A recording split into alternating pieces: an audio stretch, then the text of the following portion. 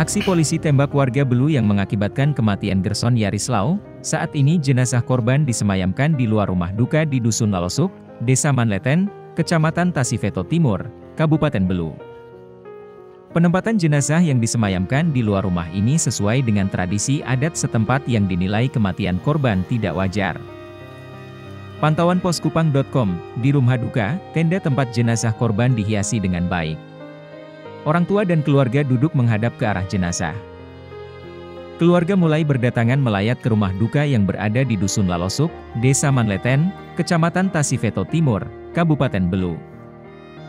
Tampak Ketua Komisi 3 DPRD Belu, Benediktus Manek datang melayat ke rumah duka. Politisi Partai Nasdem ini memberikan peneguhan kepada orang tua korban. Gerson adalah anak keempat dari enam bersaudara dari pasangan Lambertus Lau dan Yuliana Aek. Kapolres Belu, AKBP Yosep Krisbianto, SIK mengatakan, Gerson adalah tersangka kasus penganiayaan yang selama ini dalam pengejaran polisi. Meski korban adalah tersangka kasus penganiayaan, Kapolres siap bertanggung jawab semua kejadian itu, baik secara hukum maupun secara kekeluargaan. Kapolres juga bertanggung jawab mulai dari proses di rumah sakit sampai dengan selesai penguburan.